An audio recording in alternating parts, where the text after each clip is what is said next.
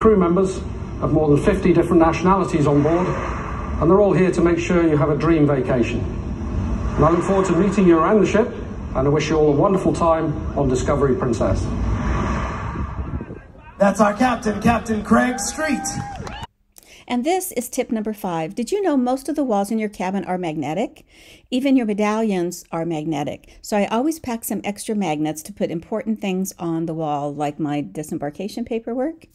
Here's my cabin when I was on board during the summer for Alaska, the 4th of July. So you can see the magnets really do come in handy to keep you organized. And here, oops, this is what's happening at home. And here's some of my friends that joined me on the ship last month.